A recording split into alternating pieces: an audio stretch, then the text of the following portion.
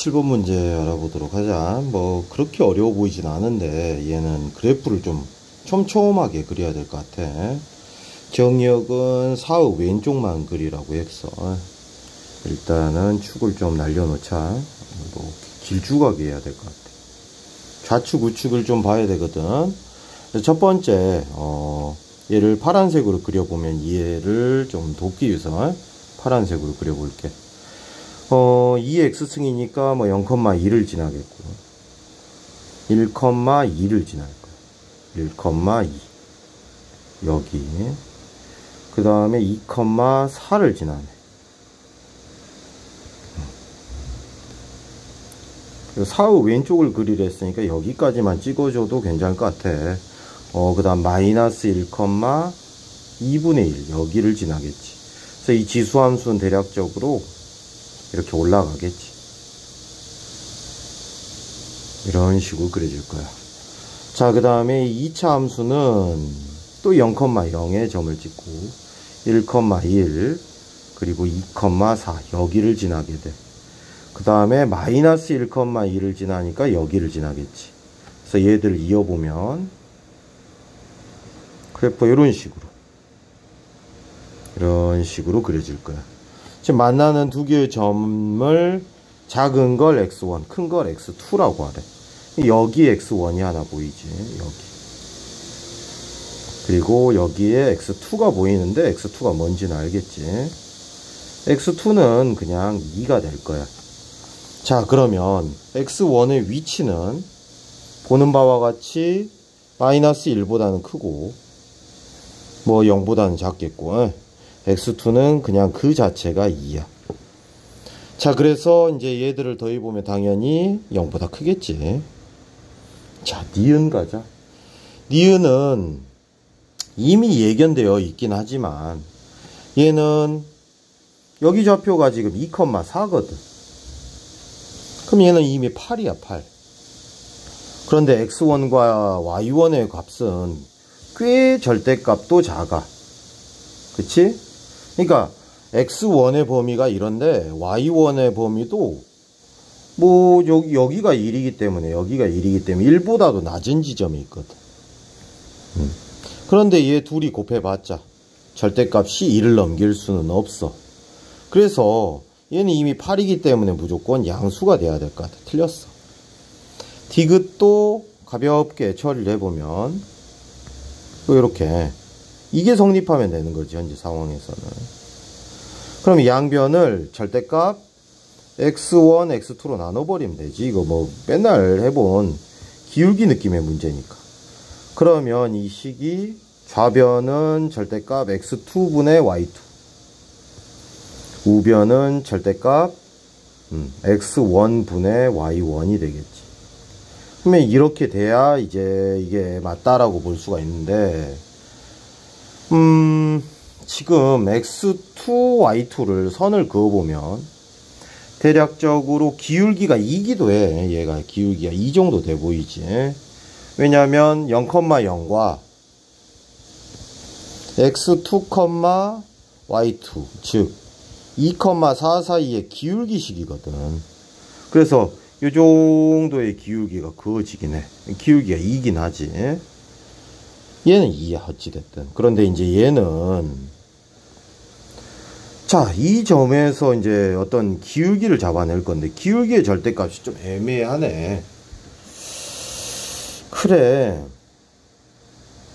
그런데 도함수 생각을 하면 왜냐면 어, gx라는 함수가 지금 x의 제곱이잖아. 그러면 g'x는 EX거든. 그러면 이 도함수를 생각을 해보면, 도함수? 도함수까지는 아니긴 하다. 음, 범위상, 접선의 기울기가 지금 x1의 위치가 마이너스 1보다 크고 0보다 작아. 그러면 2x1이 지금 g'x1인데, 이 G'X1의 범위 또한 마이너스 2보다 크고 얘한테 두 배를 하는 거니까 0보다는 작아. 뭐 언제 기울기가 제일 뭐 절대값이 크냐면 점점 아래로 볼록이니까 이 지점에서 그나마 접선의 기울기가 마이너스 2가 될 거예요. 마이너스 2. 네, 마이너스 2. 이때가 그나마 기울기가 제일 크긴 커. 접선의 기울기가. 요런, 요런 식으로 그어지면서. 이런 식으로 그어지면서. 그렇지만, 어, 얘 상황에서는 지금 증가폭을 생각을 하면, 어, 2점. 이 그나마 기울기가 제일 큰 지점이 마이너스 1,1이거든. 그리고 아래로 볼록이기 때문에 좌측으로 갈수록 기울기의 절대값은 커지기는 해. 그치? 그런데 이제 그나마 지금 이 상황이잖아, 지금.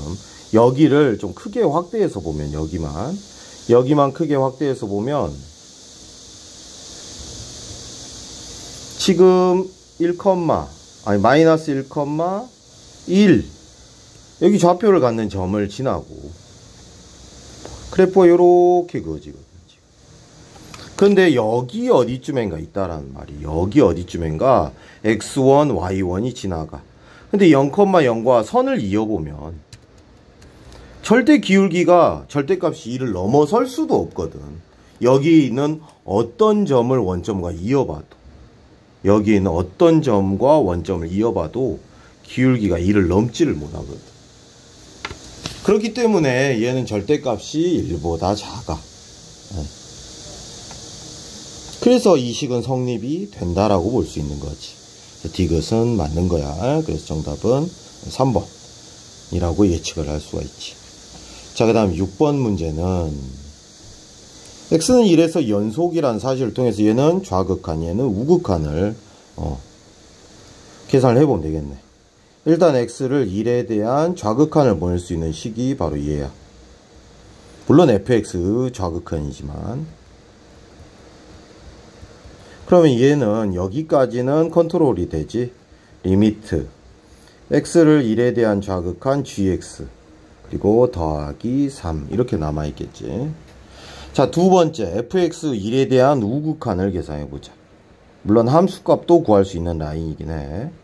1에 대한 우극한은 3gx 플러스 5x의 제곱 플러스 4x인데 얘를 가볍게 추려서 써보면 3 limit x를 1에 대한 우극한 gx 플러스 9라고 적을 수 있지. 자 그런데 이게 fx 1에 대한 좌우극한인데 연속이랬으니까 둘이 같아야 돼. 자 이때 치환을 좀 이용을 해야겠지. 먼저 이 친구 1에 대한 좌극한을 뭐 A라고 해볼까 A 뭐 미지수 A라 쓰고 있지는 않으니까 그 다음에 1에 대한 우극하는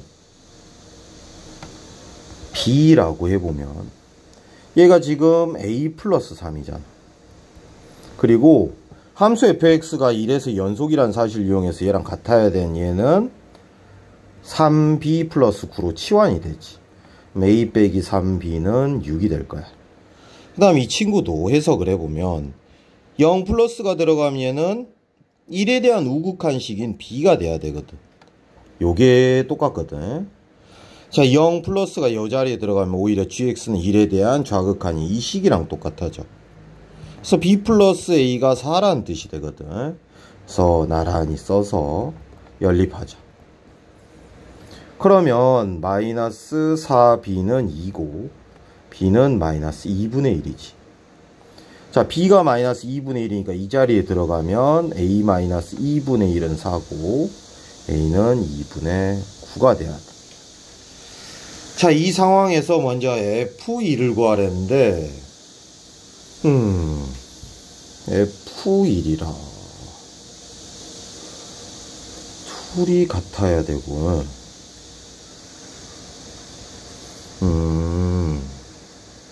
실수 전체에서 정의된다라고 했고.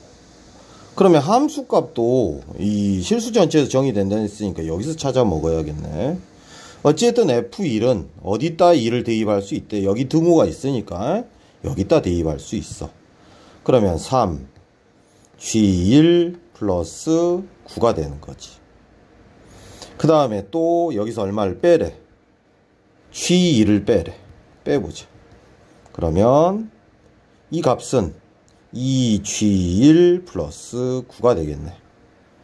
그런데 G1을 GX도 여기서는 정의가 되나봐. 그치? 여기서는 정의가 되나봐. 따라서 지금 아 여기에서 연속성을 fx만 연속하는데 음. 예우 좌극하는 2분의 9고 예우 우극하는 마이너스 2분의 1인데 그런데 G1은 우극한 값이랑 똑같잖아 지금. 여기다가 대입을 하면 함수값이 나오나 보네. 그지? 어. G1은 여기다 대입할 수 있는 걸로 보면 우극한 값인 것 같아 요거. 요거. 요게 G1이 되는 거지. 정의된다니까. 실수 전체에서 정의되는데 x가 1일 때는 그럼 어떤 식을 사용할 수 있냐? 이 식을 이용할 수가 있거든.